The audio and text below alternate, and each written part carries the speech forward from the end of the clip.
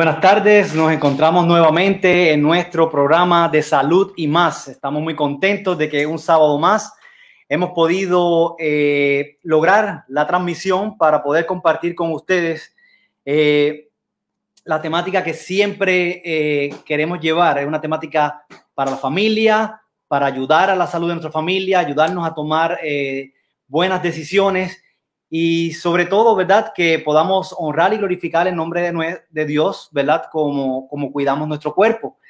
Así que hoy tenemos un tema muy interesante, ya lo pueden ver ahí abajo, la leche de vaca fortifica los huesos. Una buena pregunta. Eh, varias personas eh, nos habían comentado sobre ese tema durante las semanas que hemos estado haciendo esta temática y hoy vamos a tener respuestas sobre esto. Pues, ah, para esto, pues nos acompaña eh, nuevamente, y digo nuevamente porque estuvo con nosotros varios meses atrás, es eh, la doctora Karen eh, Eras, Mora Eras, perdón. nos sentimos muy contentos de tenerla con nosotros. ¿Cómo se encuentra, doctora? Hola, bien, encantada otra vez de estar aquí en, en este programa, así que bien contenta. Sí, así que eh, luego de la última vez, eh, hubieron varias personas que luego del programa estuvieron comentando, muy contentos con la charla que usted dio eh, y quería un poco más. Y hoy tenemos el día, la nueva oportunidad pues, para discutir otra temática importante en el área de la salud. quisiéramos, antes de nada, vamos a comenzar con una oración y pedimos, por favor, a aquellos que nos están viendo, inclinemos nuestros rostros para orar. Señor, Agradecemos por la oportunidad de estar en un programa más. Agradecemos por la oportunidad que tú nos das de poder conocer, conocer sobre eh, temas, temáticas de salud que nos ayuden a poder eh, hacer cambios en nuestros hogares, ayudar a nuestras familias para que estén más saludables. Gracias por también los recursos que tú brindas eh, hermanos eh, de nuestra iglesia que están dispuestos a sacar su tiempo para compartir con nosotros. También queremos aprovechar esta oportunidad, oh Dios, para pedir por cada una de esas personas que están escuchándonos en este momento, no tan solamente por sus peticiones eh, de salud, pero también queremos pedir, Señor, por cada uno que esté escuchando este video, por su parte espiritual. Permite que podamos día a día crecer en ti y acercarnos a ti, oh Señor. Ayúdanos en eso. Por Jesús. Amén. Amén. Así que, doctora Mora, nos sentimos contentos de, tenerlo, de tenerla con nosotros eh, nuevamente. Nos sentimos contentos de poder eh, tener la oportunidad de compartir temas como este. Así que esperamos que los hermanos compartan. Queremos repetir la dinámica. Siempre tenemos el tiempo de, de la charla. Vamos aproximadamente a estar una hora. Vamos a guardar la última media hora, vamos a estar de cuatro y media a seis. Vamos a guardar la última media hora para sus preguntas y respuestas. Así que por medio de Facebook nos están viendo, por medio de Facebook Live, también nos están viendo por medio de YouTube. Así que en ambas plataformas usted puede escribir allí sus comentarios eh, y sus preguntas también para la temática que vamos a estar discutiendo hoy. Entonces, doctora, sabemos que está en Puerto Rico. ¿Cómo están las cosas por allá? Con calor. Mucho calor, sí. Aquí también en la Florida estamos en las mismas. Con calor y orando al Señor, ¿verdad? Para que no llegue ninguna tormenta, huracán. Sí, así es. Así que eh, recordemos, ¿verdad? Allí abajo nos estaban pasando eh, información que queremos que la, la sepan, ¿verdad? Hoy a las 6 pm estaremos transmitiendo la serie Conectados con el pastor Oscar Tavares.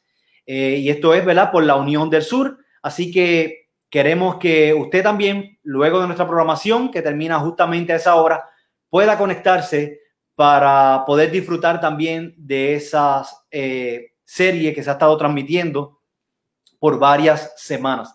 Así que, doctora, eh, vamos a comenzar. El tema de hoy es un tema, ¿verdad? que yo considero que es un tema en donde hay muchas dudas.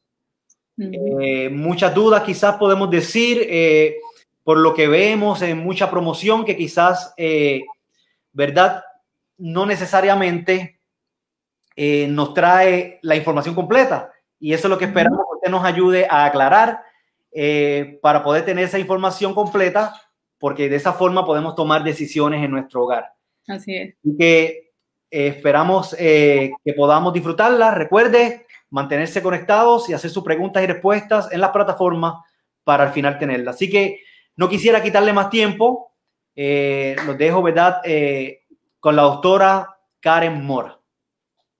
Nada, gracias Javier por, por, esta oportunidad y al pastor también, se lo agradezco. Es como tú dices, esto es un tema, ¿verdad? Que quizás no toda la información eh, se publica o eh, hay ciertos eh, organismos, ¿verdad? Que no quieren que, que, que esto se sepa, ¿verdad? Y hay que coger este tema con mucha pinza porque quizás al final puede haber personas que se sientan sensibles ante la información que reciban. Y esto es porque desde muy pequeños hemos escuchado que la leche de vaca pues fortifica los huesos y que de la noche a la mañana alguien te diga eh, que realmente no es correcto, pues entonces como que eh, deshabituarnos o quitar esa, ese conocimiento que ya desde un momento, ¿verdad? Atrás ya teníamos en, nuestra mente, es como que eh, chocante, ¿verdad? Así que nada, lo que vamos entonces a hablar precisamente es eso, a contestar esa pregunta, esa interrogante. ¿La leche de vaca fortifica los huesos? Y eso es precisamente lo que vamos entonces a estar contestando en la tarde, eh, o el momento de, de, ahora, este, a partir de ahora. Y he dividido, ¿verdad?, lo que es esta conferencia en cuatro aspectos fundamentales, que son el calcio, su importancia en la salud, porque obviamente hay que hablar de él, eh, las fuentes de calcio eh, de origen animal y vegetal, la leche de vaca, una mirada científica a su composición y efectos en la salud, y como último tema, pero no menos importante, las recomendaciones o consejos saludables para poder sustituir estos lácteos ¿verdad? Que son derivados de una fuente animal. Y les pregunto, ¿han escuchado alguna vez comentarios como, por ejemplo, consumir leche fortifica los huesos? O bebe leche y crecerás con dientes fuertes y sanos. Siempre eh, en, nuestra, niñez, pues escuchamos comentarios como este, eh, bebe leche para que crezcas eh, alto y fuerte, eh, o para que tus dientes obviamente no se te caigan, ¿verdad? A veces como que nos amenazaban. Pero sí, en algún momento o alguno de nosotros en el país de donde estemos, sea en Puerto Rico, Venezuela, etcétera, sobre todo los latinos, nuestros padres siempre nos inculcaron esa, ¿verdad? Ese, ese sentir de, o ese conocimiento de que si no tomas leche, pues obviamente vas a ser un debilucho. O eso era lo que nos, entre líneas nos querían decir. Ahora, ¿por qué era que nuestros padres nos inculcaban eh, ese hecho de poder tener que consumir eh, leche para nuestros huesos? Ciertamente todo era debido al calcio, ¿verdad? Y siempre este, hemos escuchado que la mejor fuente de calcio, ¿cuál es? Pues la leche. Y relacionamos el calcio con hueso saludable. Por eso es que tenemos esa imagen allí, ¿verdad? Y sí, ciertamente el calcio es importante para nuestros huesos, pero después, eh, después vamos a ver que no es solamente bueno para nuestros huesos, sino también bueno para otros órganos de nuestro cuerpo. Y la información que les traigo eh, en este momento eh, viene del Instituto Nacional de Artritis y Enfermedades Musculoesqueletales y de la piel. Eh, cualquiera de ustedes que quiera buscar más información relacionada a lo que es el calcio, la vitamina D, etcétera, ustedes pueden hacerlo. es libre de costo. Esto es una página que ustedes pueden accesar desde cualquier computadora y poder entonces conseguir mucha más información relacionada al calcio y a la vitamina o incluso hasta la de la osteoporosis, etcétera, etcétera, cualquier eh, enfermedad que tenga relación con la deficiencia de calcio eh, o cualquier otra enfermedad que sea músculo esqueletal. Y justamente eh, estas páginas o estas organizaciones lo que nos dicen es que consumir calcio y vitamina D eh, es bueno para tener unos huesos fuertes. Y siempre usted va a ver que cuando nos dicen consume calcio, siempre va a estar mm, casado con lo que es la vitamina D. Y más adelante vamos a ver por qué. De hecho, ya mismo, este, les puedo dar un ejemplo y es que la vitamina D no eh, nos ayuda absorber el calcio. Así que sin vitamina D, por más calcio que nuestro cuerpo consuma, eh, quizás no se va a absorber de la mejor manera. Este calcio, como les dije, no solamente ayuda a nuestros huesos, sino que también va a ayudar al corazón, el músculo, los músculos, los nervios, hasta en la sangre, exclusivamente en la coagulación de la sangre, para que todos ellos funcionen eh, debidamente correcto o de la mejor manera. ¿okay? Así que vemos que el calcio no solamente ayuda a nuestros huesos, ayuda a órganos esenciales eh, en nuestro cuerpo. Y como les había dicho, la vitamina D prácticamente es esencial para la absorción del calcio. Sin suficiente vitamina D no podemos producir cantidades suficientes de la hormona conocida como la calcitriol, que también se le conoce como vitamina D activa. Lo que, o la, insuficiencia de vitamina D lo que puede ocasionar es que no se absorba suficiente calcio de los alimentos. Y en la, aquella ocasión en donde estuve también hablando con ustedes eh, relacionado a la alimentación en tiempos de COVID, se había mencionado lo importante que era la vitamina D para nuestro sistema inmunológico y en este caso también para la absorción del calcio. Y qué mejor fuente que, esa imagen lo dice, qué mejor fuente que el sol. Es gratis y lo tenemos prácticamente todos los días, por lo menos los que vivimos en este lado del hemisferio, ¿verdad? Así que el que usted pueda tomar sol, por lo menos bien temprano en la mañana, y bien tardecito, por lo menos ya poniéndose ese sol, puede ayudar entonces a que ese calcio sea absorbido de la mejor manera. Ahora bien, hay unos requerimientos, ¿verdad? Dependiendo de la edad del paciente eh, o la edad de, de la persona. Y dependiendo de ellos, pues se van a pedir algunos o se va a variar los miligramos que vamos a necesitar diario.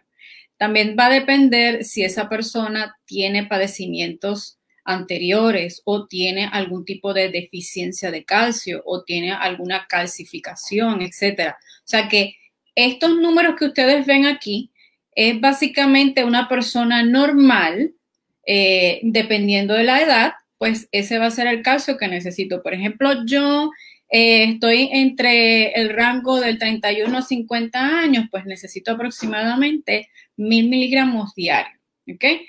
Eso siempre y cuando que yo no padezca ninguna otra condición. Esto es importante y siempre le hago la salvedad.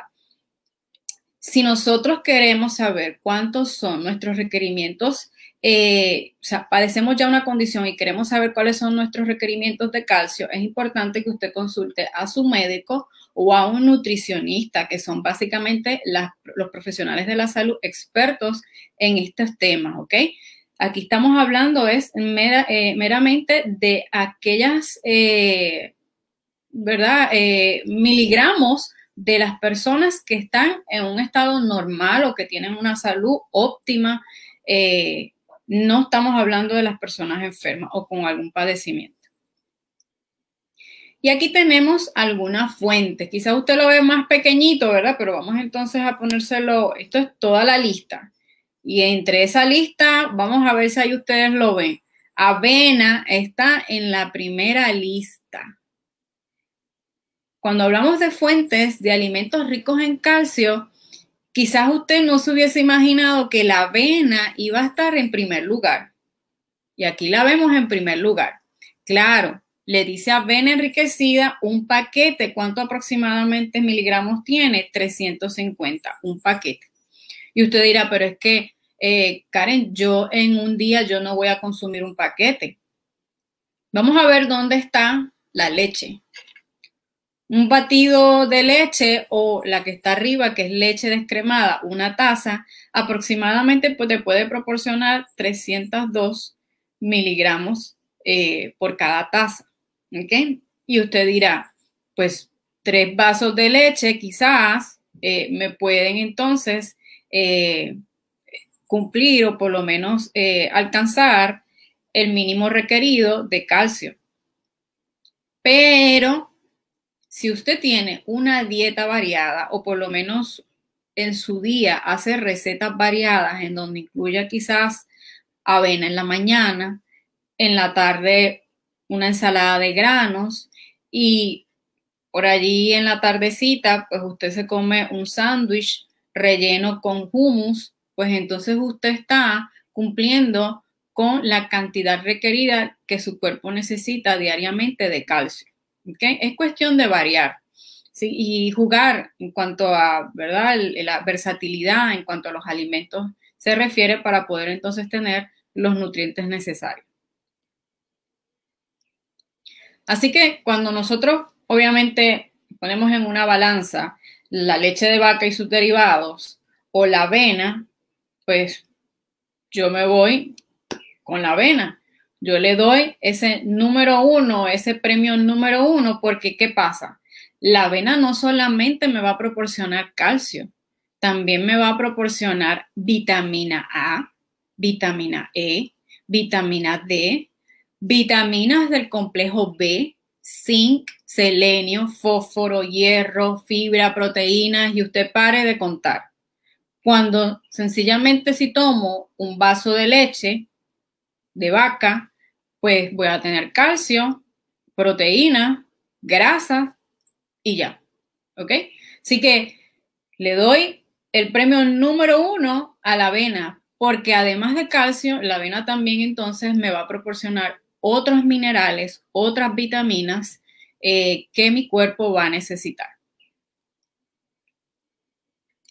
Ahora, la pregunta aquí está, ¿realmente entonces la leche de vaca fortifica los huesos? ¿Es buena para nuestro consumo? Eso es algo que nosotros vamos a contestar precisamente hoy. Y miren, si usted me hubiese preguntado si esa leche de vaca era buena para el consumo humano en los años 1930, 1940, pues yo le hubiese dicho que sí. Porque cómo se creaban ese, cómo se creaban esas vacas, cómo se creaba ese ganado. Libre, eh, comiendo pasto, eh, no había nada que se llamara transgénico, no había esa producción en masa que hay ahora de leche de vaca y sus derivados, por lo tanto, pues eh, no teníamos que obligarlas a engordar con otros aditamentos u hormonas, etcétera. Así que era prácticamente una vaca del campo, como decían. Yo eh, siempre recuerdo, eh, mi madre, ella eh, se creó en el campo y ella todos los días iba, llevaba el ganadito a un río a tomar agua, a pastear por, ahí al ladito del río, y después se las traía en la tarde, ella obviamente se iba a la casa y después las iba a buscar en la tarde para que volvieran otra vez a la finquita que tenían allí. Y eso es algo natural. ¿Qué químicos iban a haber allí? Pues ninguno. Pues la leche quizás en ese momento era lo más natural posible. Claro, recordemos que la leche de vaca es para los becerritos. Pero aún así, si uno tenía ese empeño de consumir leche de vaca, porque así fue criada nuestra sociedad, pues eh, una vaca criada en un campo lo más natural posible, pues eh, no, no podría tener entonces tantos efectos adversos en nuestra salud. Sin embargo, cuando pensamos ahora en nuestra actualidad, en el siglo XXI, eh, específicamente en el año 2020, que por cierto nos ha tocado duro, esa leche que es para consumo humano ya no pasa por, o, o, por lo menos pasa ahora por ciertos procesos que anteriormente no pasaba. Así que ahora mismo los procesos no son tan naturales como quizás en los años 1950 o aquellos que habíamos comenzado en los tiempos de mi madre o de mi padre, eh, en donde pastorar era algo bien natural, en este caso ya no, ya cuando estamos hablando del año 2020, pues estamos hablando de que prácticamente tenemos que producir en masa, porque la demanda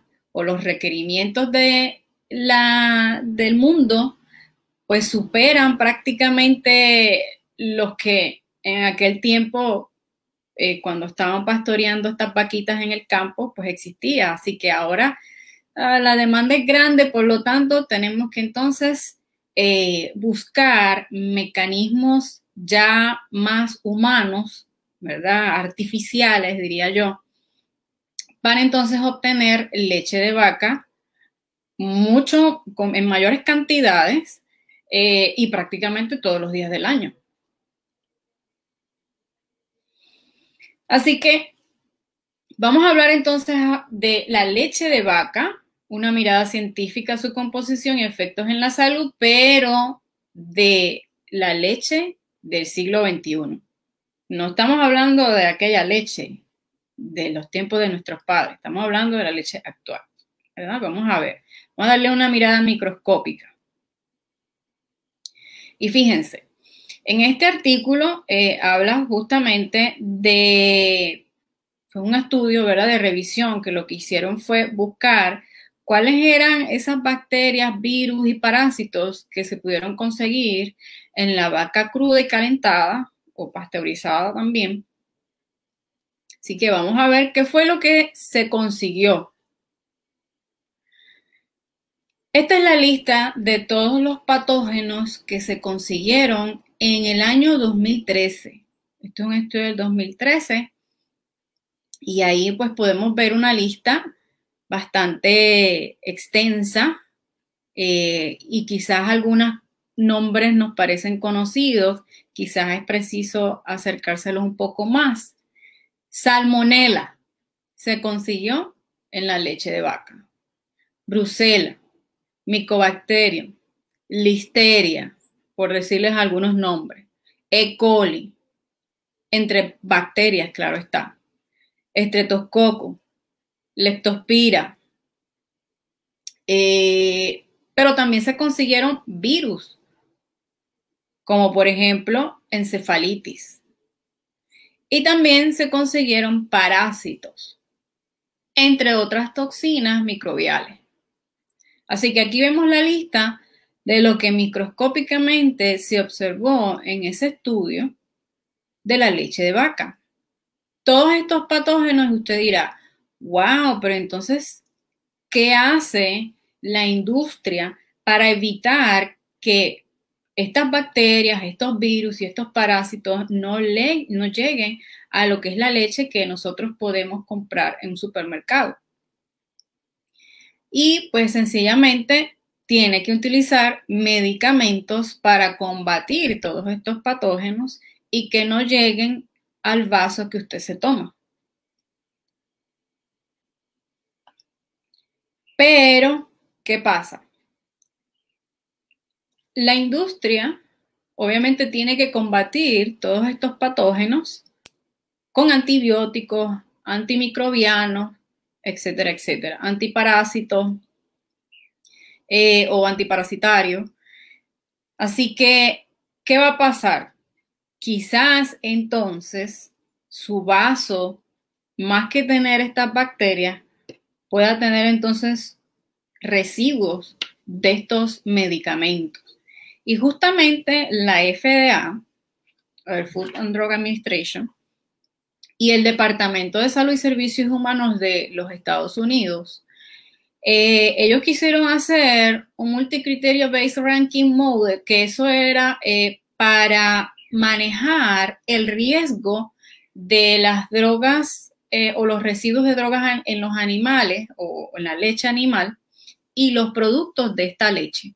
¿Okay? Así que vamos a ver cuáles fueron esos residuos de drogas o drogas que se consiguieron en la leche de vaca. Y esto es del año 2015. Y aquí identificaron una lista extensa. Eh, ellos lo que hicieron fue que se seleccionaron 54 eh, drogas animales o que se le administran a los animales listadas en esta tabla. Fueron prácticamente los que se consiguieron en esa leche. Fíjense allí, ahí tenemos antiinflamatorios, tenemos antimicrobianos, antiparasitarios, eh, hasta histamínicos. Y usted pare de contar. Tenemos antimicrobianos conocidos como por ejemplo el, la micacin, que es un antibiótico nefrotóxico. Eh, cuando hablamos de nefrotóxico es que es eh, pero del ser humano. Gentamicin o gentamicina, que también es un medicamento, ah, un antibiótico nefrotóxico para el ser humano. Varios allí que son nefrotóxicos, ¿verdad? Pero vamos a ver, eh, tenemos amoxicilina, ampicilin, penicilina, eritromicina, eh, vamos a ver por acá otros conocidos. Hay varios conocidos, el naproxen, que también es un antiinflamatorio bastante fuerte. El ketoprofen, antiinflamatorio.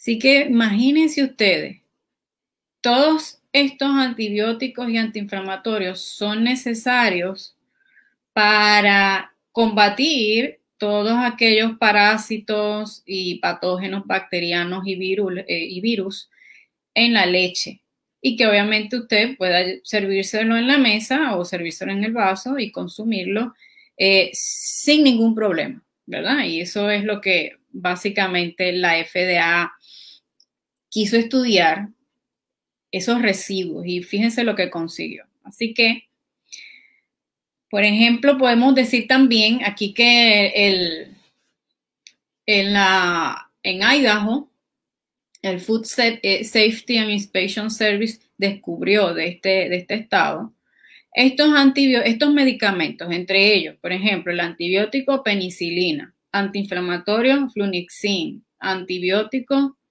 eh, gentamicin, antibacterial sulfametacin, wow, tetraciclín, antibiótico, ampicilín, antibiótico. ¿Y qué pasa? Todo eso usted prácticamente eh, pensamos que al pasteurizarlo y filtrarlo, etcétera, etcétera, pues no llega al vaso, pero sí llega, hay residuos, como ya lo vimos en el estudio que hizo la FDA, en donde estas leches pueden contener residuos de estos medicamentos. ¿Qué pasa si estos residuos llegan a nuestra leche. Sencillamente hacemos resistencia a estos antibióticos. Y por eso es que normalmente ahora vemos personas con un alto índice de resistencias a los antibióticos o alergia a medicamentos que antes no, no padecía o alergias. De hecho, aquí en Puerto Rico tenemos un índice eh, bastante grande de alergias en pacientes pediátricos. Pacientes pediátricos que usted dirá, pues mira, ahora no, nació, no tenía ningún tipo de alergia, eh, y tan pronto pues empieza a consumir leche de vaca, pues entonces ya es alérgico o, o empieza a crear otras nuevas alergias, etc. Alergia que desde luego en los años de 1930, 1940, cuando se consumía la leche de vaca, pues no, no existían prácticamente. Y es que tampoco existían toda esta gama de medicamentos que se le administraban a la vaca. ¿Por qué? Porque el consumo prácticamente era uno moderado. Y por ejemplo aquí eh, la FDA sigue eh, reportando, encontrando antibióticos prohibidos en lo que son los lácteos, en las pruebas que se le hacen a estos lácteos o, la leche de vaca. Y es preocupante, eso fue en el 2015, así que eh, sigue siendo preocupante porque antibióticos que ya la FDA había declarado como eh, prohibidos para el, animal, pues se siguen encontrando como residuos en las pruebas que se le hace a estos lácteos. No solamente en Estados Unidos, sino también en otras partes del mundo. Por ejemplo, en este caso, en Europa, ¿verdad? Podemos ver que también andan batallando con todo este abuso farmacéutico de antibióticos o de drogas de tipo antibióticos en los lácteos, eh, ¿verdad? Que, eh, nosotros consumimos. Ahora quisiera mostrarles, o sea, recuerden que todavía estamos hablando de una mirada microscópica a la leche. También la leche tiene otros aditamentos, en este caso hormonas, ¿verdad? Porque usted dirá, pero ¿y cómo es posible que una vaca lechera produzca leche, a la redundancia, por tanto tiempo? Y para eso, pues, necesita la administración de hormonas hormonas sexuales, ¿verdad? E, en este caso, pues estrógenos, progesterona. Y quisiera que obviamente ustedes eh, vieran este video. Vamos a ver si lo podemos visualizar.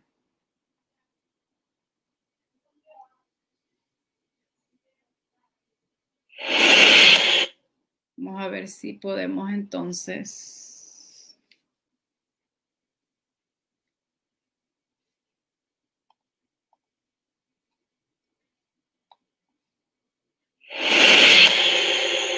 No se ve, ¿verdad?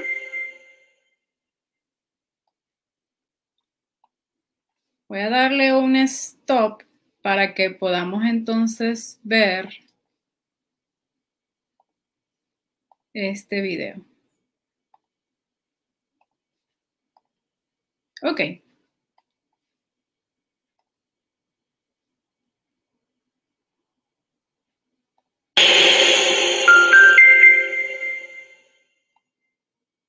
All food of animal origin contains hormones. But most of our dietary exposure to hormones comes from dairy products. Uh, by quantity, it's mostly prolactin, corticosteroids, and progesterone. There are also a bunch of estrogens, which then concentrate further when you make other dairy products, like five times more concentrated in cream and cheese, uh, 10 times more hormone concentration in butter. So when it comes to exposure to steroid hormones in the food supply, about three quarters of our exposure to ingested female sex steroids comes from dairy, with the rest evenly split between eggs and meat and fish. Eggs contribute about as much as all meat put together, which makes a certain amount of sense since it comes straight from a hen's ovary, right? Among the various types of meat, you get as much from white meat, fish and poultry, as you do from pork and beef. And this is just from natural hormones, not added hormone injections like bovine growth hormone. Uh, so for these, it doesn't matter if the meat's organic. Animals produce hormones because they're animals, which understandably ends up in animal products. But only about half of people surveyed seem to know that, lacking basic knowledge, like not realizing what milk is for. Cows only give milk after having a calf. So these researchers suggested we ought to inform the public about dairy production practices, to which one journal of dairy science respondent wrote, you know, telling the public all our new technologies like transgenic animals, meaning genetically engineered farm animals, or taking away that calf right away so we can have more of the milk or not letting cows see grass may not actually result in high rates of public approval, so ixnay on the education nay. One thing with potential public health implications that the public may not know about is their exposure to estrogen through intake of commercial milk produced from pregnant cows. See, modern genetically improved dairy cows, such as the Holstein, your standard black and white cow, can get reimpregnated after giving birth and lactate throughout almost her entire next pregnancy, uh, which means that commercial cow's milk these days contains large amounts of pregnancy hormones like estrogens and progesterone. Here's the estrogen levels in milk during the first eight months of a pregnant cow's nine month gestation. Hormone levels shoot up more than 20 fold. But even so, we're still only talking about a millionth of a gram per quart, easily 10 to 20 times less estrogen hormones than uh, what you'd find in like a birth control pill. So, would it really have an effect on human hormone levels drinking it? Here are the average levels of three different estrogens and a progesterone metabolite flowing through the bodies of seven men who then proceeded to drink about a liter of milk. Within hours, their hormone levels shot up. Here are the average levels of these female sex steroids flowing through the bodies of six school children, average age eight, before drinking about two cups of milk. And then after, within hours, their levels shot up, tripling or quadrupling their baseline hormone levels. So one can imagine the effects milk might have on men or, or prepubescent children. But what about women? Uh, presumably they have such high levels of estrogens in their body in the first place. Well, not all women. What about postmenopausal women and endometrial cancer, for example? Estrogens have a central role in the development of endometrial cancer, which is a cancer of the lining of the uterus. Milk and dairy products are a source of steroid hormones and growth factors that might have these kinds of effects. So, Harvard researchers followed tens of thousands of women and their dairy consumption for decades and found significantly higher risk of endometrial cancer among postmenopausal women who consumed more dairy. What about dietary exposure to hormones and breast cancer? Unfortunately, understanding the role of dietary hormone exposure in the population burden of breast cancer is not possible at this time.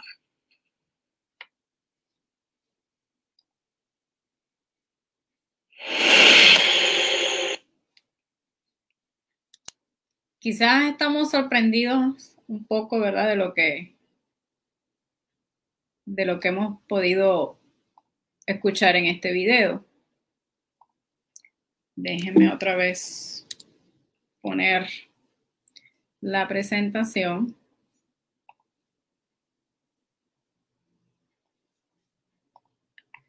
Por aquí mismo ya estamos.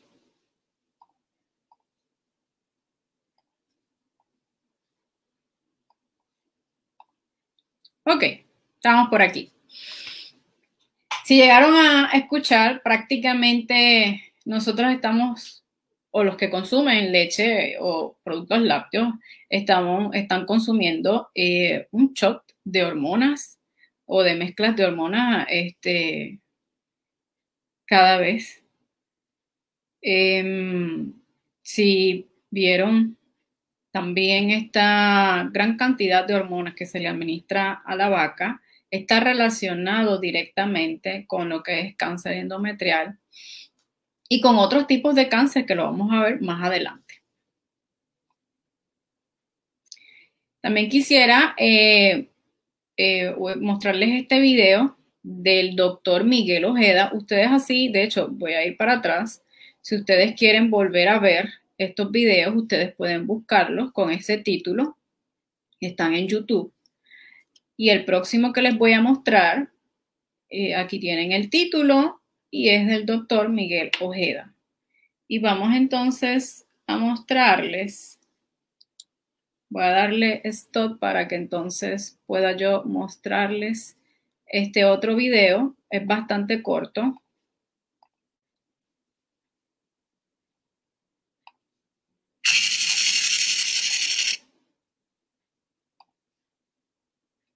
Y por aquí vamos.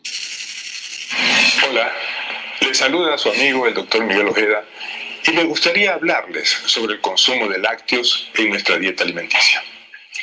¿Sabían ustedes que muchas enfermedades como la diabetes, el cáncer, la obesidad, las enfermedades del corazón, principalmente coronarias, entre otras, se encuentran atribuidas al consumo de leche y sus derivados? Bueno, esto se debe a la forma artificial en la cual se cría a las vacas usando antibióticos, hormonas de crecimiento, alimentándolos con cereales genéticamente modificados en lugar del pasto. Todo esto ha conseguido que la vaca actual proporcione hasta 50 litros de leche al día, cuando en realidad una vaca común, sin intervención humana, proporciona solamente de 2 a 5 litros al día. Vale la pena destacar que los antibióticos administrados se absorben en la carne del animal y también van a la leche. Entonces, cuando consumimos cualquiera de los dos productos, también consumimos estos antibióticos que llegan a destruir gran parte de nuestra flora intestinal benéfica, la cual se dedica a protegernos. Esto hace que nuestro sistema inmunológico quede desprotegido y tengamos enfermedades como gripas, tos, resfriados y las famosas alergias muy comunes en nuestro medio. Otro punto importante es el aplicado con las técnicas de pasteurización o ultrapasteurización, cuya función es librar al alimento de bacterias, gérmenes, virus o parásitos que nos pueden enfermar. El problema es que estas técnicas destruyen la mayoría de los nutrientes contenidos en la leche. Habiendo dicho esto, yo les recomiendo otra fuente de calcio alternativa a la leche, como son las almendras, los frijoles, el brócoli, el garbanzo, la coliflor, los higos, la melaza, las aceitunas, el ajonjolí, la espinaca, entre otros. Estos son solo ejemplos de alimentos que contienen calcio y que nuestro cuerpo puede absorber y disfrutar sin ningún inconveniente. Gracias por su atención a estos consejos. No se olviden que tenemos una cita de lunes a viernes.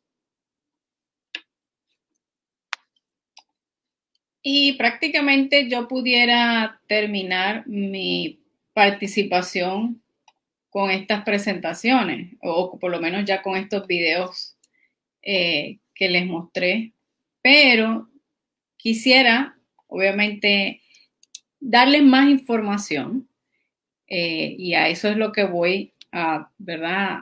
A continuar dándole más información. Y es que justamente la leche de vaca también contiene sangre animal, contiene pus. Claro, no es una cosa que usted la va a ver literalmente, pero es partículas microscópicas. Y por eso es que la FDA estipula que la leche no se debe ingerir si contiene más de 200.000 células blancas muertas por mililitro, que es a lo que nosotros llamamos pus, ¿verdad? Cuando hablamos de células muertas, células blancas muertas es pus. Pero miren lo que ocurrió en el 2001. Se examinó la leche producida en 48 estados de los Estados Unidos para determinar si incumplían con la forma o con las normas, disculpen, de la FDA que eran 200 eh, mil mililitros, ¿verdad? Eh, permitido. Cada estado resultó sobrepasar los límites permitidos. Incluso Florida fue el peor. Tuvo un conteo de células de 548 mil. ¡Wow! Y esto fue al azar. Pero hablemos específicamente de las consecuencias de consumir productos lácteos. Ya ustedes han visto a través de los videos que se ha hablado de cáncer, se ha hablado de alergias, se ha hablado también de eh, otro tipo, como por ejemplo síndromes gripales o síndromes virales, etc. Pero vamos a ver, entre los más comunes puede ser la pubertad precoz. Y usted dirá, pubertad precoz, pero ¿a qué se refiere eso? No, no es literalmente que vamos a ver un niño con canas. Es que vamos a ver imágenes como esta. Estas niñas ambas tienen la misma edad. Sin embargo, la estatura, la masa muscular no es igual. De acuerdo a las percentilas, eh, las percentilas son unas mediciones que los profesionales de la salud utilizamos en pediatría para comparar la talla, peso, eh, si es acorde a la edad. Y justamente, aunque ustedes no lo crean, la más pequeña es la que cumple con la percentila adecuada. La chica del lado es la que sobrepasa y está por encima de la percentila 90, que eso va, ¿verdad? Por, por un número de percentilas. ¿Eso qué quiere decir? Que está mucho más grande de acuerdo a su edad, la talla y el peso. ¿Ok? Así que a eso nos referimos con eh, pubertad precoz. Vemos niñas ya de, no tienen ni 10 años cuando obviamente se ven sus senos más formados, con unas caderas prominentes, etcétera, etcétera. Y es por la cantidad de hormonas que se le administra a la leche de vaca para ser comercializada. Los mismos eh, artículos de Harvard nos confirman lo que el video también ha mencionado, y es que las hormonas en la leche pueden ser muy peligrosas. Tanto para la salud del ser humano, eh, obviamente sano, como también para aquellos que ya están enfermos, pues pueden entonces empeorar su condición. También eh, las hormonas pueden crear problemas como por ejemplo los que vemos aquí en estos caballeros. Si ustedes ven, prácticamente las mamas de estos caballeros es más pronunciada que lo normal. Y es que ellos sufren de lo que se conoce como ginecomastia, ¿verdad? Y es que prácticamente ellos tienen unas mamas pronunciadas y ginecomastia, porque obviamente se supone que son parecidas o por lo menos se, eh, son, se engrandan o por lo menos aumentan de tamaño como el de las mujeres. Claro, no en comparación se pueden eh, confundir, pero sí existe ese aumento. Se supone que en el hombre no existe un aumento de las mamas, pero por debido al consumo excesivo de lo que son los lácteos o, eh, por lo menos la leche de vaca, estas hormonas pues también ejercen eh, otro tipo de problemas como la ginecomastia en los caballeros. Otra de las cositas que, que nosotros también eh, hemos visto mucho en la televisión es que eh, la incidencia de obesidad ha sido exorbitantemente o ha, ido exorbitantemente en aumento, ¿no? Y nosotros se lo achacamos justamente a las grasas. Ajá, pero la leche de vaca también tiene grasa. Así que debido a esas grasas eh, de origen animal, pues podemos entonces ver obesidad. Esta grasa obviamente, o este consumo de la grasa eh, de la leche también puede incrementar el peso al nacer, ¿verdad? De, estos, de los neonatos o lo que son los recién nacidos. Esta misma grasa que se consigue en la leche también puede entonces obstruir las arterias y crear otros problemas del corazón. Aquí, por ejemplo, vemos un estudio del consumo de leche y la mortalidad en enfermedades cardiovasculares y de cáncer. Esto es un systematic review, un metaanálisis. Ahora bien, eh, quiero eh, ser muy franca en esto.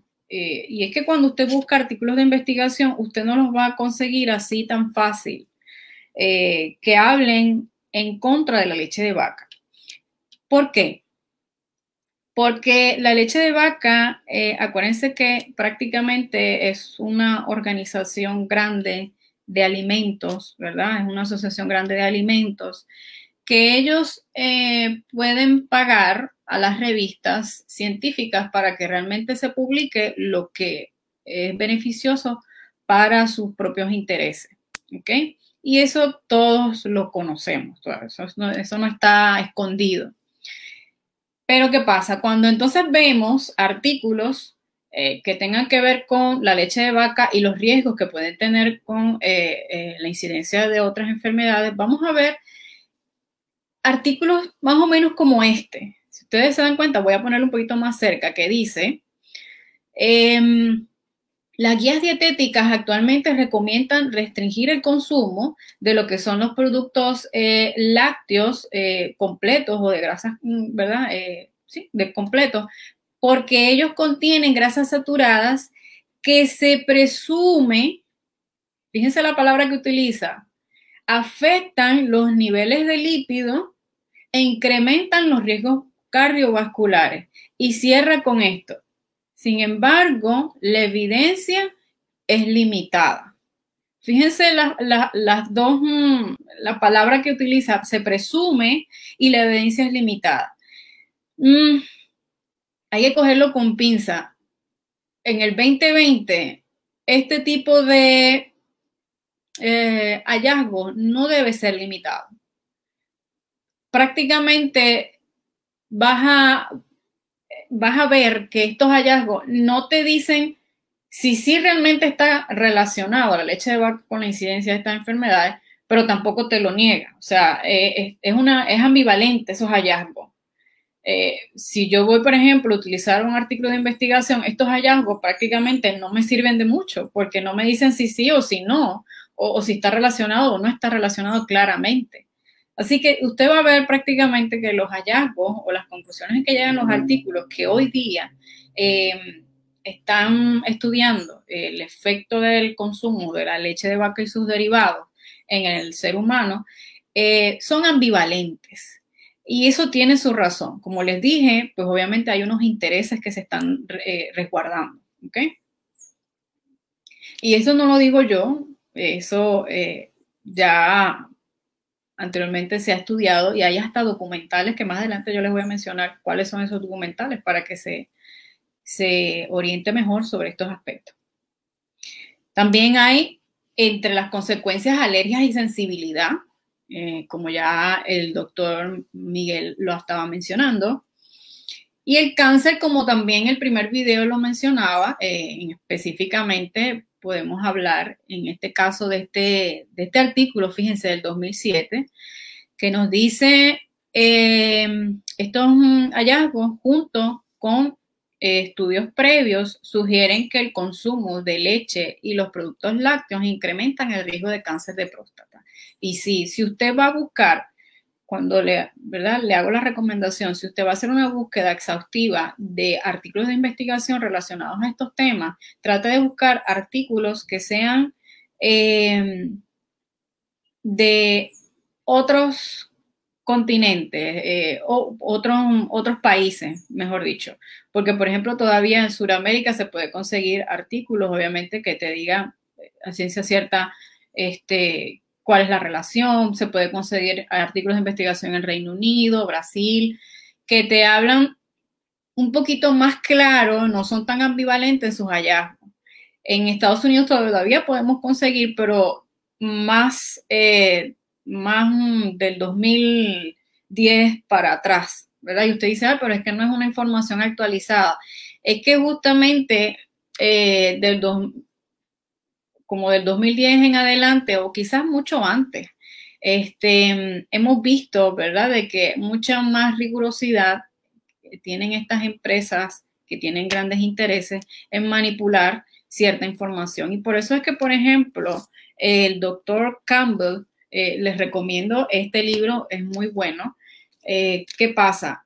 Muchos investigadores, expertos este, en estos Mm, ¿verdad? estos hallazgos o, estas relaciones en cuanto a la leche de vaca con las enfermedades, ¿qué pasa? Como sus artículos eh, tienen hallazgos contundentes que hablan claramente de que el consumo de leche de vaca no es saludable, eh, el consumo de leche de vaca, de la leche de hoy en día, les aclaro, eh, quizás, por ejemplo, cuando vemos y leemos eh, los libros de la hermana o de Elena G. de White, vemos que ella habla de leche y no la prohíbe. Y claro está, es que en aquel entonces la leche de vaca o la vaca que se conocía era una vaca que pasteaba en el campo. No es como lo que vemos hoy día. Eh, es como, por ejemplo, Jesús. Jesús comió eh, pescado o por lo menos peces, ¿verdad? Y multiplicó los peces y pues obviamente también comió pescado, pero no podemos entonces comparar los peces de aquel entonces a los peces de los lagos de hoy día. Los lagos de hoy día vemos una gran contaminación que no existía en aquel entonces, así que no podemos hacer la comparación, jamás podemos hacer la comparación. Em, como les decía, estos investigadores lo que hacen es que como no pueden o se les prohíbe prácticamente eh, publicar en artículos de revistas conocidos, ellos lo que hacen es que es sencillo, fácil, me estás poniendo trabas para yo poder publicar. Pues mira, yo publico mi propio libro con todos mis artículos, perdón, con todos mis hallazgos y todas mis investigaciones. Y eso es lo que están haciendo las personas. Doctor Campbell es uno de ellos y les recomiendo mucho este libro, sobre todo porque eh, habla sobre un estudio que precisamente él hizo en China, porque él quería ver por qué en China estaban apareciendo eh, una alta incidencia de enfermedades comunes en el occidente, en Estados Unidos, y cuando vieron era que prácticamente los chinos empezaron a consumir eh, una dieta parecida a, los habitantes de Estados Unidos y por eso era que entonces las incidencias de cáncer y enfermedades eh, autoinmunes, etcétera, etcétera, empezaban entonces a, a ser mm, prácticamente protagonistas, ¿verdad?, de lo que es las estadísticas de morbilidad. Como les había dicho, el cáncer, prácticamente el de próstata, pues el consumo de cáncer, eh, perdón, el consumo de leche eh, por lo menos tres vasos diarios, eso es lo que puede entonces ocasionar un riesgo, por lo menos que aumente ese riesgo en 30% en el cáncer de próstata y en las mujeres cáncer de ovario en un 66%. Un estudio hecho durante un periodo de 12 años a 78 mil mujeres reveló que la leche no redujo el riesgo de fracturas de hecho, las mujeres que tomaban leche de vaca tres veces al día tuvieron más fracturas que las que rara vez lo hacían. Y usted dirá, pero ¿y cómo entonces si yo tengo osteoporosis o tengo osteopenia y me mandan a tomar entonces mucho calcio, pues entonces ¿cómo es posible que más bien el tomar leche me ocasione fracturas o tenga mayor riesgo de fractura? Y la contestación también está aquí en el libro del doctor Campbell y él claramente, ¿verdad? Al nosotros tener un alto consumo de lo que es mm, eh, proteínas o alimentos de origen animal, lo que hacen es que nuestro cuerpo se acidifique, es decir, o sea, eh, tenga en exceso acidez. Y obviamente para neutralizar el exceso de acidez, el cuerpo es tan sabio que utiliza el calcio que actúa con gran eficacia, pero este calcio debe proceder de algún sitio y el organismo termina por extraerlo de los huesos, que con el paso del tiempo se debilitan y corren mayor riesgo de fracturarse. ¿okay? Así que ahí entonces entendemos el por qué eh, eh, una persona con osteoporosis lo menos que puede hacer es consumir leche de vaca. Esto es otro videito, pero verdad, se los dejo para que ustedes eh, puedan verlo porque dura un poquito más. Eh, es precisamente el doctor Campbell, los invito a que lo puedan ver porque es muy bueno este, y obviamente ahí van a entender también la relación que tiene el consumo de eh, productos lácteos con el cáncer. Además, también el, consumo de leche de vaca también está relacionado con diabetes, autismo, esquizofrenia y muchos, otros desórdenes autoinmunes, como por ejemplo la esclerosis múltiple, que también eh, ha habido aumentos en los últimos años. Otro video que también les recomiendo que vean eh, es qué hay detrás de la leche de vaca. Y usted dirá, bueno, sí, hay consecuencias para el ser humano, pero ¿hay consecuencias para la vaca? Claro, claro que sí. Más que ver una vaca feliz y contenta con su ternerito, esa no es la realidad. Así que pido ahora precaución por las imágenes con contenido sensitivo. Y es que la realidad es que vamos a ver vacas sufriendo, vacas que están pisando su mismo estiércol, eh, que han sido pateadas, mutiladas, que quizás el espacio en donde pueden estar es limitado que ni se pueden mover, eh, quizás delgadas, en establos malolientes o, ¿verdad?, putrefactos, separadas de sus terneros, porque sepan que las vacas, una vez paren, pues son separadas de sus terneros y prácticamente ven su ternerito una vez al día, eh, eh, pues, porque ellas necesitan dar leche este, y por eso es que entonces se los pegan quizás una vez al día. Los eh, granjeros que son un poquito más, más sensibles, ¿verdad? al ternero, ¿no?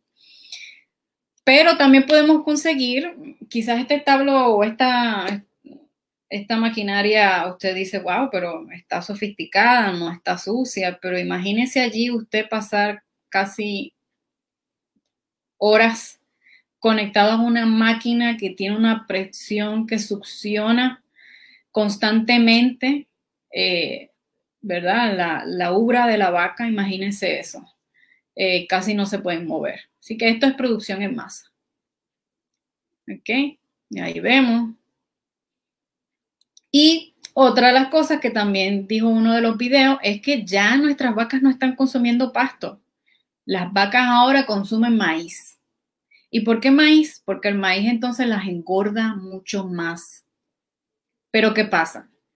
El organismo de la vaca no está hecho para consumir maíz. Por lo tanto, ese maíz va a provocar entonces que ellas sufran de Escherichia coli. Y al eh, sufrir de coli, pues obviamente van a requerir eh, tratamientos e incluso eh, se complican tanto que necesitan o van a necesitar colostomía, que es ese orificio que ustedes ven allí para que entonces el veterinario pueda entonces asistirle mejor con antibióticos de alto espectro. ¿Okay? Así que vemos, es común ya ver en en nuestras las granjas, ¿verdad? O estos tipos de, de ganaderos, ver vacas con sus orificios colostomía porque están consumiendo maíz y el maíz les produce entonces E. coli. Y aquí vemos, ¿verdad? Un artículo que dice que el E. coli causa, causada por la guerra genética, la bacteria biotecnócrata desaparecería en cinco días de las pobres vacas si comieran hierba natural y no maíz transgénico. Entre los documentales que él estaba mencionando, Food Inc es uno de ellos para que usted obviamente se oriente mejor sobre cómo es este proceso de, la ganadería y Cowspiracy. Este es otro documental que se los recomiendo, lo puedan ver porque están muy buenos y le van a abrir los ojos. Miren, hemos sido llamados a ser buenos mayordomos de la obra creada por Dios. Y quizá cuando hablamos de mayordomía hablamos de dinero, de nuestra casa, pero no es solamente eso. También incluye a los animales. Los animales son creación de Dios, por lo tanto también tenemos que ser buenos mayordomos de ellos.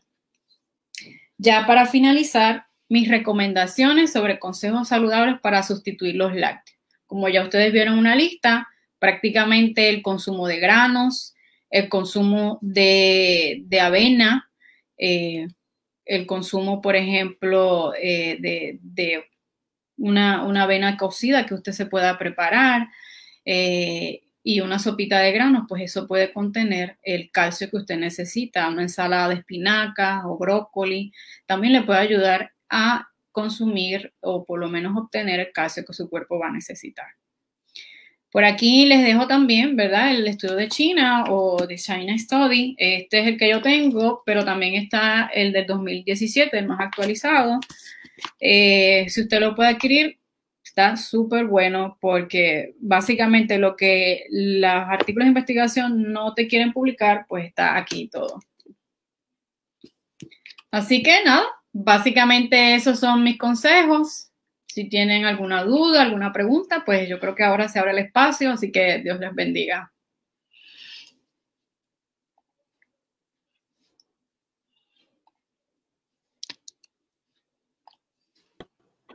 Muchas gracias, eh, doctora Moras.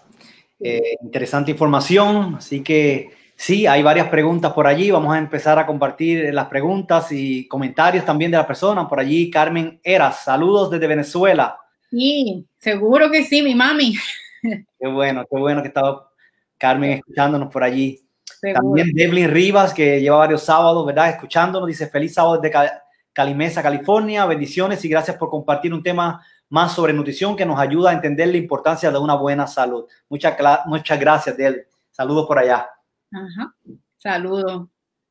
También eh, por allí Spanish Ángeles. Eh, Vamos a compartir, dice allí la Compartan esa información porque mientras más obviamente conozcan sobre estos temas, mucho mejor y obviamente va a ser este, bueno para que usted pueda tomar decisiones en su hogar. Entonces, por allí empezamos con algunas preguntitas. Nos pregunta por allí eh, Ángeles, ¿a los niños desde qué edad se les da vitaminas? Ok, miren, hay una cosa que nosotros tenemos que entender y es que básicamente las vitaminas o los complejos vitamínicos son necesarios para complementar una dieta, ¿verdad? Si usted tiene una dieta balanceada, si usted le proporciona una dieta balanceada a su hijo, pues básicamente estas vitaminas no van a ser requeridas ahora. Hay unas necesidades particulares, por ejemplo, para los niños que o las personas que son eh, eh, vegetarianos o que deciden tener una dieta vegetariana. Y, por ejemplo, tenemos que asegurarnos de que haya fuentes de los omegas, eh, fuente eh, de las vitaminas D3 em, y también del complejo B, ¿verdad? Nos tenemos que asegurar de eso. ¿Y cómo nos podemos asegurar de eso? Pues hay dos modos. Usted lo puede hacer por la alimentación, obviamente también eh, proporcionándole eh, suplementos alimenticios. Pero de verdad, yo no les recomiendo que antes de los cinco años usted le pueda dar vitaminas a sus hijos. Si usted tiene una, usted le da una dieta rica en, ¿verdad? Todos los nutrientes que necesita. Obviamente, si ese niño también fue lactado, que esa es otra cosa. Eh, la lactancia es, yo creo que la vacuna número uno. Eh, y es lo que nosotros podemos proporcionarles a nuestros hijos en los primeros días de, vida. Eh, y usted obviamente, si hubo una lactancia materna apropiada en esos primeros seis meses fue exclusiva y después entonces acompañó con otros tipos de alimentos, y que si usted se asegura que esos alimentos realmente sean ricos en hierro, fósforo, ¿verdad? Esos minerales y de vitaminas como por ejemplo la, este, la D, la B, pues yo creo que antes de los cinco años obviamente no va a ser necesario. También por ahí la pregunta pasa, también de Ángeles, pasa a qué de la leche de coco. Me imagino que recomendación sobre la leche de coco. Sí, el problema de la leche de coco es que tiene que pasar por un proceso de eh, cocinarse. Y al cocinarse a cierta temperatura para extraer esa leche, aunque eh, no, es la, ese es el aceite, perdóneme. La leche de coco, ok, si es extraída, un coco natural, usted tiene coco y le, trae la, le extrae la pulpa junto con el mismo agua de coco, usted la puede utilizar y es lo más natural posible. El aceite de coco, pues sí, ahí obviamente sí necesita calentar, etcétera, etcétera, para poder extraer el aceite. Pero si es leche de coco, pues sí, lo más natural posible. Usted compra el coco, o si usted tiene una mata de coco, pues con la pulpa y el mismo agua de coco puede hacer la leche de coco. Muy bien, así que mientras siguen llegando, ¿verdad? Eh, más preguntas, eh, recordemos siempre, ¿verdad?, que la información que estamos brindando aquí es con la mejor intención. Usted toma la información, evalúa en su hogar y hace las decisiones que, que tenga que hacer. Aquí Katy Ortiz nos dice qué bueno ver la doctora, bien, Dios te bendiga, tremenda información. Gracias, saludos, Katy Ortiz. Igual también a ti. También tenemos a Marta Luisa Brito, bendiciones a todos. Gracias, Marta, por estar viendo nuestro programa. Igual, bendiciones. Sarti, muy, muy bueno. Saludos. Eh, estoy súper impresionada con esta información. Gracias, doctora. Muy bien. Sí, hay mucha gente que se impresiona porque es que hemos, como les dije, tenemos esta creencia de que eh, desde pequeños nos criaron con que la leche de vaca era, estaba en ese primer lugar. Y pues ahora ya no es así. Eso así. Información sobre esto también, este, doctora, compartiendo, ¿verdad? Ayuda para lo que usted estaba mencionando, los diferentes efectos como problemas hormonales, sobrepeso. Hay personas que tienen condiciones, han hecho lo posible, pero no encuentran una solución y no encuentran ese link, qué es lo que me está ocasionando esto. Y pueden ser situaciones como esta, ¿verdad? A lo mejor consume mucha leche en exceso, más de lo, de lo, ¿verdad? De quizás eh, de lo debido y, y, todas esas cosas. Así que lo mejor, ¿verdad? Es informarnos si esta información está muy buena. Igual eh, pasa con las personas que padecen de muchas alergias. Mire, si usted padece de muchas alergias, empiece por ir eliminando los lácteos y usted verá que el, cambio va a ser drástico. Y, obviamente eh, no va a padecer tanto de estas alergias. Así que tenemos eh, otra pregunta por ahí. ¿La leche puede causar osteoporosis? Bueno, como les dije en el libro de eh, estudio de, eh, de, China, de Campbell, básicamente al nuestro cuerpo consumir productos animales o proteína animal, ¿qué va a pasar con, nuestro, con nuestra sangre? Se va a convertir en ácida. ¿Qué pasa? Una sangre ácida es un ambiente ideal para enfermedades, infecciones, etcétera, etcétera. Así que como nuestro cuerpo es tan inteligente, él dice, espérate, yo voy a combatir esta acidez con el calcio. Y el calcio es una herramienta fundamental para combatir esa acidez. Pero ¿qué ocurre? De algún sitio, el cuerpo tiene que sacar ese calcio. Así que, ¿qué pasa? Lo va a extraer de nuestros huesos. Y por eso es que a mayor consumo de proteína animal o cualquier producto animal, va a aumentar la acidez en nuestro cuerpo, por lo tanto va a aumentar la necesidad de nuestro cuerpo de calcio para poder combatir esa acidez y obviamente lo tiene que buscar de dónde. Pues si no tengo más calcio, pues de los huesos. Y por eso es que entonces puede ocasionar cualquier tipo de problemas como osteopenia, osteoporosis, etcétera, y obviamente eh, favorecer lo que son las fracturas. Muy bien. Entonces, por ahí tenemos Rita Núñez. ¿Cuál es la diferencia entre la vitamina eh, D2 y la D3? Gracias y bendiciones. La diferencia. Ahora mismo yo les voy a.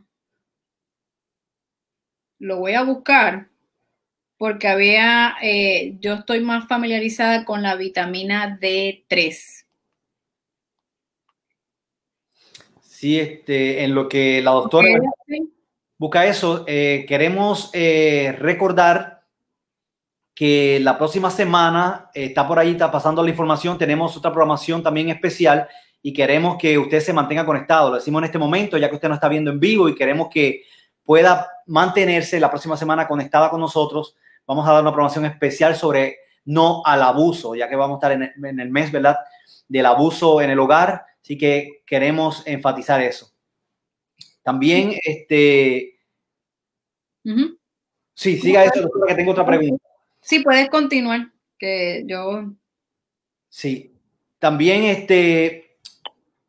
Algo que, estaban preguntándome por aquí, por el, por el celular, eh, ¿verdad? Que decía sobre si, eh, ¿verdad? Organizaciones como el FDA, que son organizaciones serias, pues están trabajando que, que porque, y ellos, y ellos permiten algunas cosas, porque ¿qué es lo que pasa? Bueno, vimos allí, ¿verdad? Que la doctora presentó casos en donde ha encontrado compañías haciendo eh, irregularidades.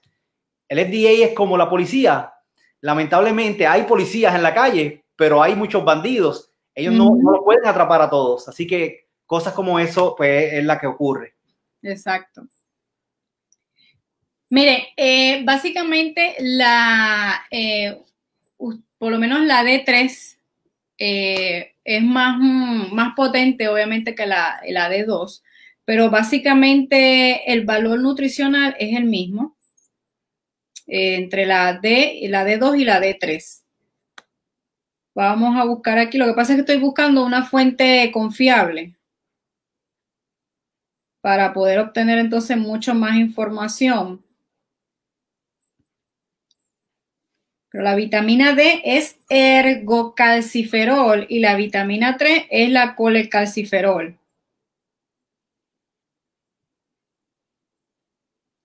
Pero ambas básicamente hacen la misma función. ¿Ok? Ok.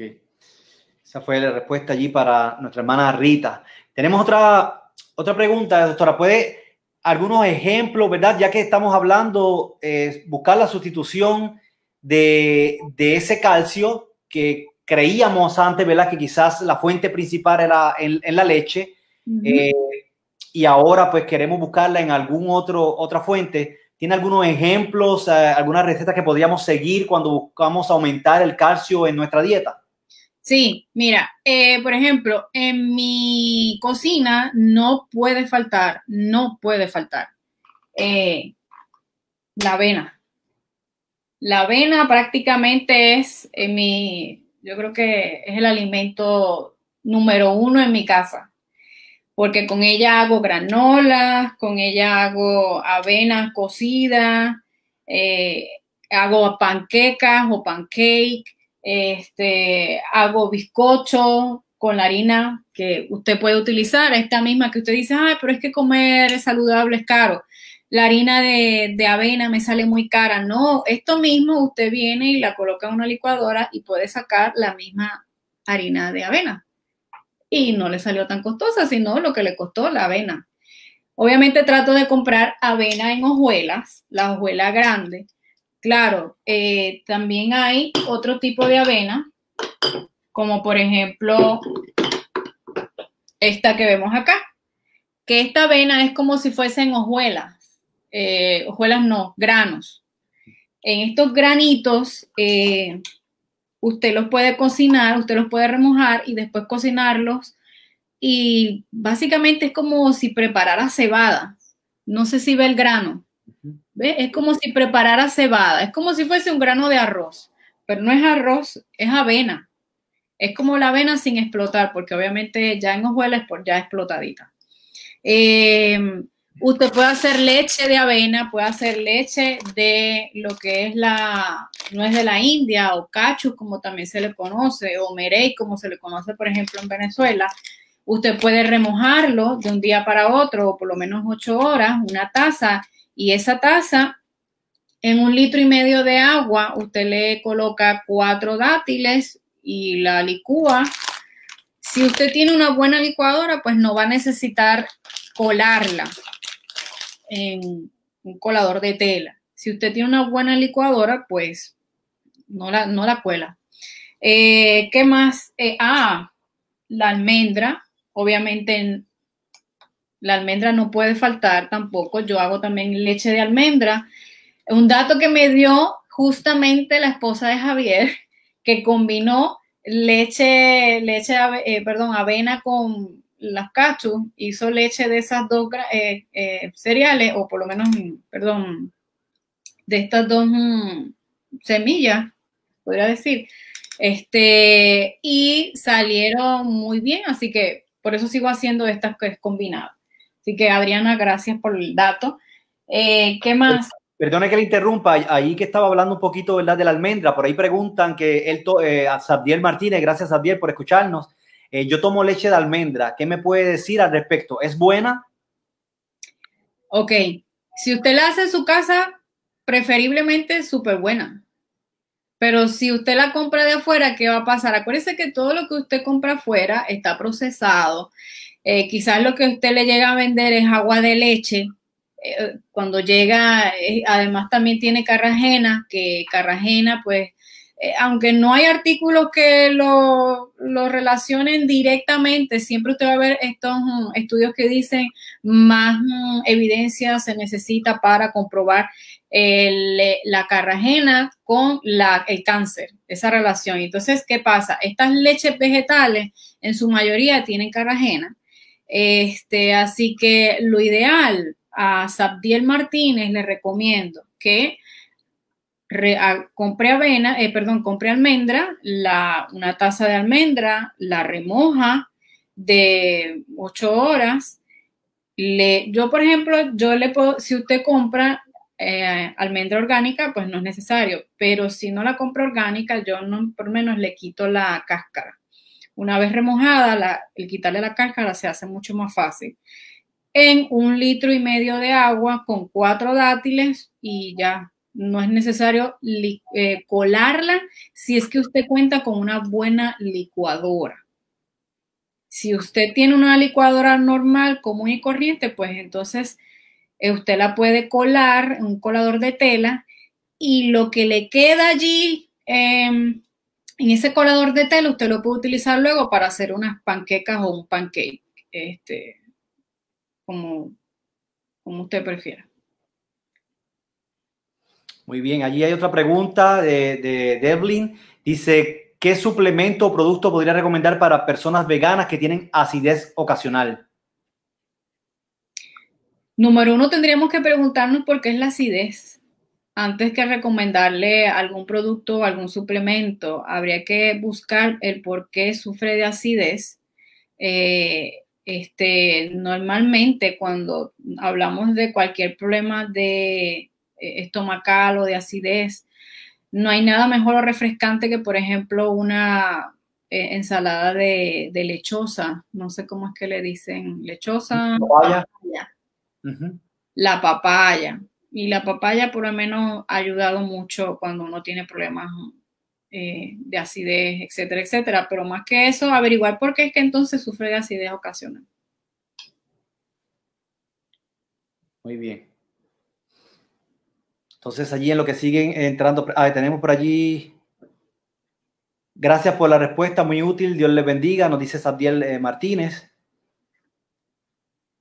Otra eh, cosa que usted puede combinar es, que se los recomiendo, usted puede agarrar un, envase de, de cristal y una, usted va a colocar una parte de linaza, una parte de eh, ajonjolí y una parte de chía. Y eso usted lo que va a hacer es que va a agarrar una cuchara. Cuando usted vaya a hacer, por ejemplo, sus batidas de, de alguna fruta, usted le puede colocar una cuchara de eso y básicamente no va a ser solamente bueno para, para la fuente de calcio, sino también para su sistema eh, intestinal. Muy bueno, por ahí teníamos otra preguntita eh, en lo que aparece. Quería también decir, eh, de acuerdo a, lo que estuvo hablando allí, ¿verdad? Este, la pregunta que hizo Sabdiel, pues ocurre, ¿verdad? Que siempre hay personas pues, que tratan de mejorar en su, en, su dieta, pero a veces lamentablemente por el ahorro de vida, pues el hacerlo en el hogar se le hace difícil, hay que comprarlo. Eh, pero creo últimamente he estado leyendo y en los supermercados, ¿verdad? Y están saliendo leche sin carolina. Así que ah, es una opción que se están dando cuenta, ¿verdad?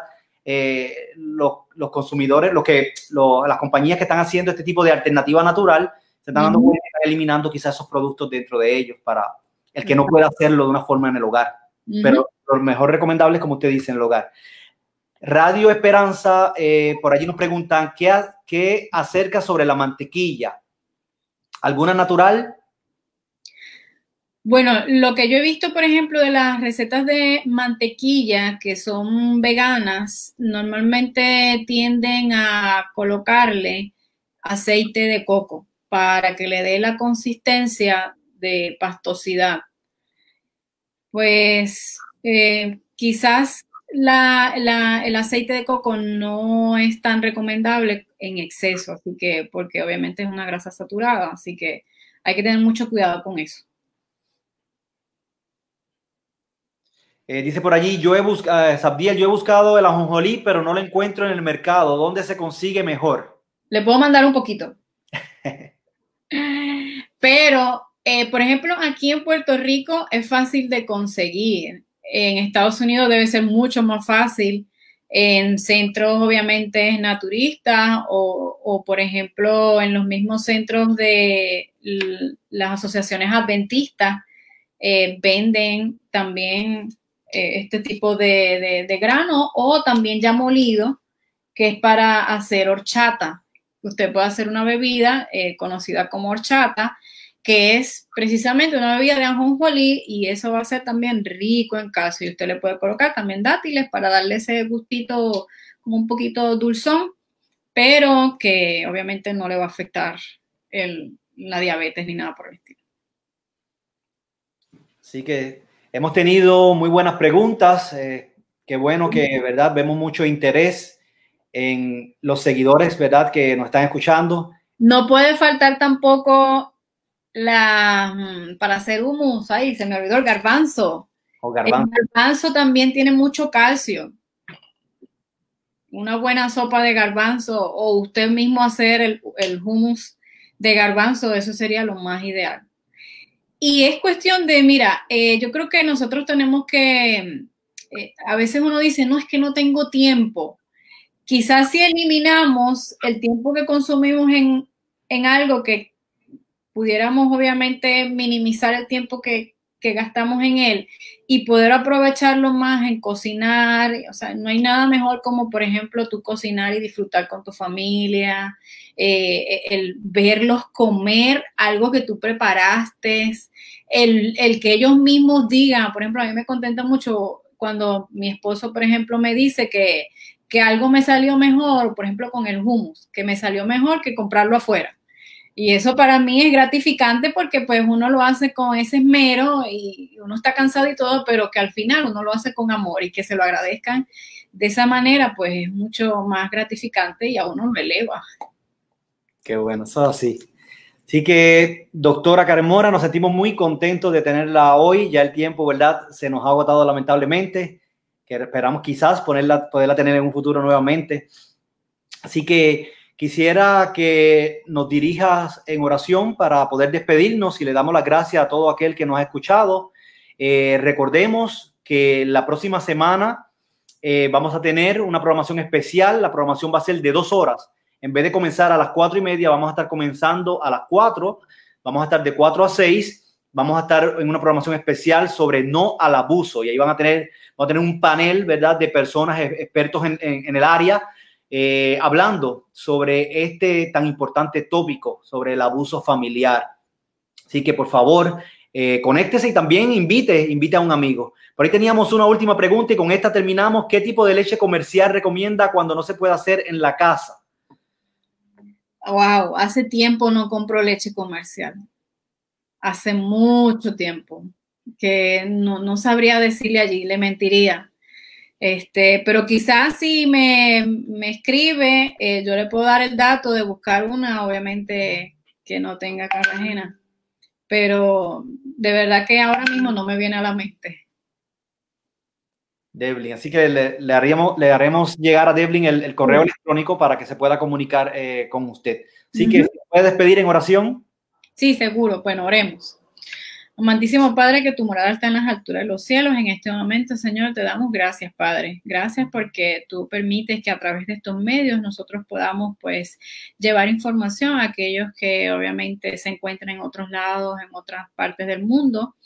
Gracias, Padre, porque tú nos has dado luz. Gracias, Señor, porque tú nos das fuentes para poder obtener esta información. Y gracias, Señor, porque aún con todas las situaciones que está, se están eh, pasando y viviendo eh, a nivel mundial, Señor, tú nos sigues protegiendo. Padre amado, ayúdanos a entender que lo que aquí se dijo, pues es solamente información que nosotros vamos a atesorarlo a medida que sepamos la importancia que hay en ella y sobre todo que hay para nuestra salud y sobre todo para eh, el templo del Espíritu Santo, mantenerlo lo más óptimo posible, Señor.